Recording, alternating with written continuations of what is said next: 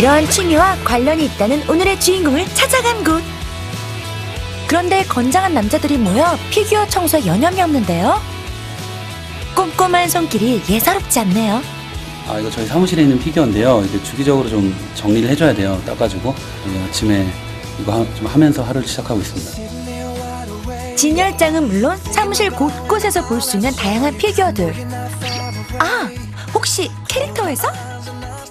피규어라든지 레고라든지 그런 거를 사시는 분들이 많은데 이걸 공유하고 나눌 자리가 되게 없다라는 얘기를 많이 들었어요. 그런 분들을 위한 모바일 SNS 커뮤니티를 만드는 회사예요. 모두가 행복한 세상을 꿈꾼다. 황재우 대표. 내일ON 첫 번째 클릭, 키덜트. 동심을 꿈꾸다. 일본 시장 규모 약 6조 원, 미국 시장 약 15조 원, 국내 역시 약 5천억 원. 바로 키덜트 시장인데요. 차츰 성장세를 이어가는 국내 키덜트 시장에 과감히 도전장을 내민 스타트업. 유명한 게임 회사를 다녔던 동료들이 뜻을 모아 창업한 곳이라는데요. 일본에서는 뭐 오타쿠라든지 미국에서는 geek이라고 부르는 이 서브컬처 문화가 있는데요. 이게 굉장히 글로벌한 주제더라고요.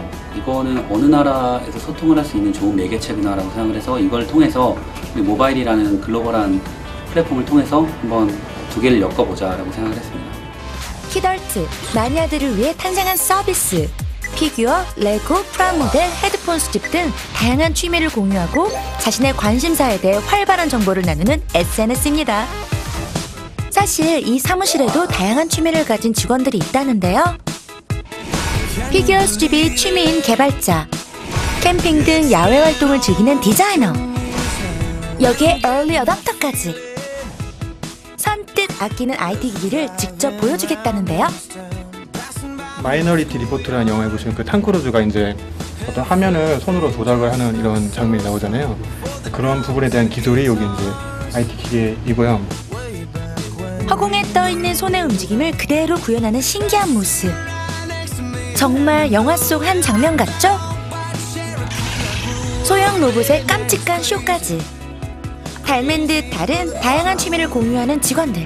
취미를 다른 사람들끼리 있으면은 얘기를 하거나 이게 공감대를 형성하기 힘든, 힘든 데 그런 부분이 아니고 이제 비슷하게 서로 공유할 수 있는 부분이 있다 보니까 아무래도 좀 더 유대감이 더 형성되고 더 이렇게 팀워크가 더 잘 생기는 것 같아요. 황재우 대표를 찾아 도착한 곳. 사진 촬영에 푹 빠진 모습인데요. 그런데 여긴 어딘가요?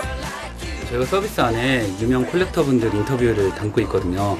오늘은 그 키덜트 힙합 뮤지션으로 유명하신 팻두 씨를 좀 만나뵙고 네. 공간 래퍼이자 스토리텔러 가수로 잘 알려진 팻두. 키덜트족 사이에선 더욱 유명한 실력파 가수라는데요. 방 안을 가득 채운 다양한 수집품들. 알록달록 피규어, 모자 등 그 종류도 다양한데요. 앙, 내 스타일이야. 그중 눈에 띄는 미니 피규어 귀마개. 좀 많이 팔렸다고 들었는데 일본에서. 일본에서 이 종류가 600만 개가 팔렸대요. 네. 또 10만 개 팔리면 히트라고 하는데 2013 히트 랭킹에 들어가 있을 거예요. 대표님 누가 너무 잘하시네요. 아, 네, 이런 걸 주- 좋아하는 사람 이게 통하는 게 있어요. 근데 사실 네. 다른, 다른 분들이 보면 이상할 수 있겠지만 이게 통하는 거 얘기하면 재밌죠. 어느새 다시 일에 열중하는 모습. 인터뷰가 끝나면 생생한 현장 사진과 인터뷰 내용을 앱에 올려 정보를 공유한다네요. 뭐 옛날 뭐 세대나 그런 사람들은 이해를 못할 수 있어도 요즘에는 이렇게 다 같이 즐기고 소장할 수 있는 이런 아이템들이다라고 해서 그런 것들이 이제 어플로 나와서 사람들이 공유할 수 있다는 게 정말